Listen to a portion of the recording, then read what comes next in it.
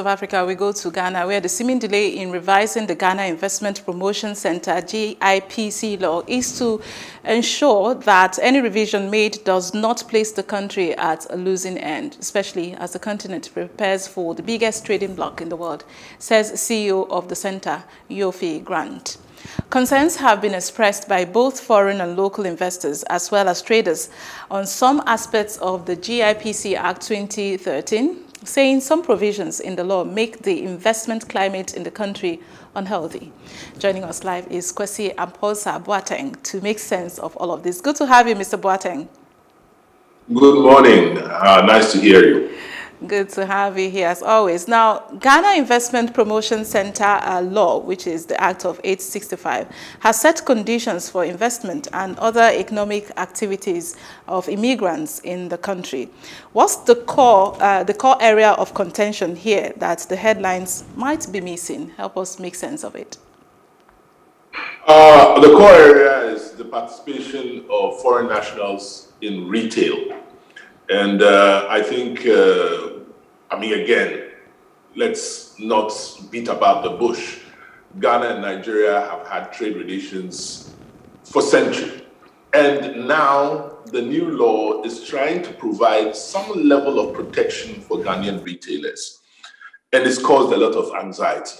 What we have to appreciate is that change is difficult and different people are affected in different ways. The bottom line is Ghanaians actually need a level of protection for foreigners in terms of the retail trade. That's the real crux of the issue.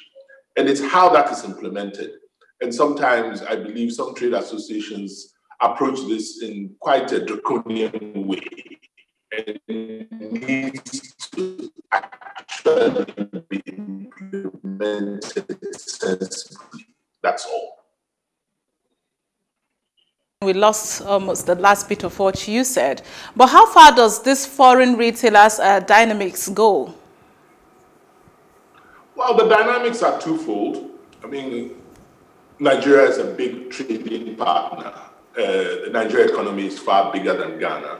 Hmm. Uh, Nigeria retail traders, uh, retail activities in Ghana are regulated by this law.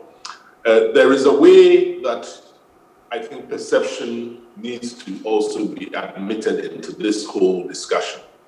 There's a long history of Ghanaians considering our big friendly giant next door as a retail threat. Hmm. There's also issues around the, the, the whole process of how each party benefits. I mean, I'll give you an example. Access to capital. There are big Nigerian banks in Ghana that really have helped access to capital in Ghana. But the retail trade, for instance, is at a very small scale. It's not as big as one would imagine, and it is nothing to compare with the volumes that Nigerians do in their own country. So effectively, it's a combination of expectation, anxiety, mm-hmm. and for want of a better word, regulation. I think if that is adhered to and practiced, we can coexist quite peacefully. And the, the whole objective is to actually trade with each other.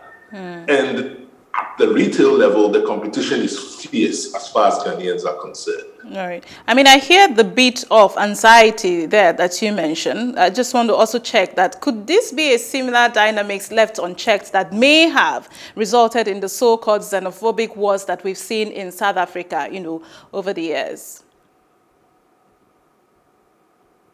I mean, people mention it all the time. I think uh, it's nothing to compare to that. Uh, first of all, our links with Nigeria are quite different from the dynamics that occurred in South Africa.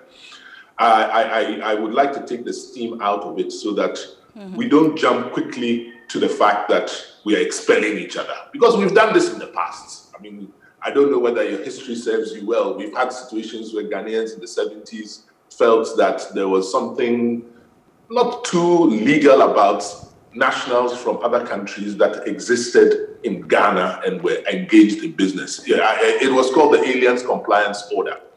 And the bulk of the people who were impacted by this were Nigerian traders. Subsequently, in the 80s, Nigerians also had an act that also propelled Ghanaians back because the economic fortunes of Ghana in the 80s too were so low that a lot of Ghanaians were in Nigeria conducting business. Mm. So the South African uh, comparison is not an appropriate one. What I'd like to give as an example is just the dynamic of actually promoting free trade. The legislation is being developed, it's a work in progress, and change is difficult. Hmm. My vision is that eventually we have a bigger trading bloc whereby our goods and services flow much better and retail is better regulated than it is at the moment. All right. I mean, I hear you trying to make that clarity there, but do you see this matter being handled and harmonized in such a way that foreign retailers versus local content, you know, uh, will thrive? And on top of that, I would just want to find out what would be your recommended way forward in all of this?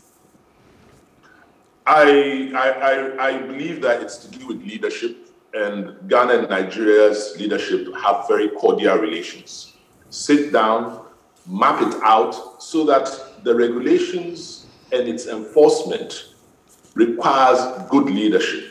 It gives us almost like a framework to operate. Without frameworks, you get chaos. And I, I must say, this is one thing that maybe we as Africans and even more closer in terms of West Africans have incredible laws but it's the implementation of the laws and the interpretation of the laws. I mean, a simple example in terms of a way forward would be dialogue. A lot of people, in terms of trade associations, are implementing rules that don't exist in Ghanaian law because of anxiety. On the other side, too, a lot of people who are resident in Ghana really disabuse themselves of how they treat visitors. You know, there's this incredible uh, saying that Ghanaians constantly are very hospitable and things like we, we, we, we give more attention to the stranger. But when the stranger is your big friendly giant, there's a lot of fear. And the fear is unfounded. My, my recommendation is dialogue, implement and adhere to the law, and then finally, see it as a way forward for better relations, both right. economically and our even social interaction. We, we, are, we, we have more together than we being apart. Okay. I mean, the world is trying very hard to actually improve the economic sort of environment in everybody's little corner. Mm. I don't think we can do it alone, but we'll be better collaborating with each other. So my, my recommendation is implement the law, socialize it, let people understand that we are better together. That's right. my conclusion about this. And, and, that's a good way to wrap it, Mr. Boateng. Thank you so very much and for highlighting how crucial dialogue is at this point. Do keep safe out there.